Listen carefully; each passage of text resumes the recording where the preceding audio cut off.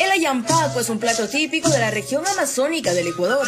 Formaba parte de la gastronomía shuar y con el pasar de los años fue asimilado por los colonos, quienes dieron transformaciones con el uso de diversos ingredientes que aportaron desde la sierra ecuatoriana. Para, para que no se pierda la esencia mismo del plato, eh, estoy utilizando lo que es la hoja de acelga. La hoja de selga también tiene un cierto parecido a la hoja de Santa María y a la hoja tierna de la pelma.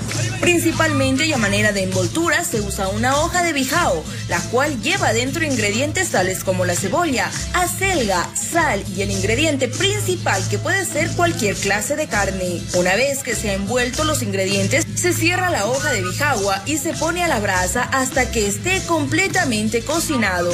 Se utilizaba los pescados de agua dulce, que son el bagre y el, plateado, aquí. En este caso, nosotros también aquí también se hace eso, pero ya no se utiliza bagres, bagres o peces de agua dulce, sino se utiliza los peces de pecera. En este caso se utiliza bastante lo que es la tilapia.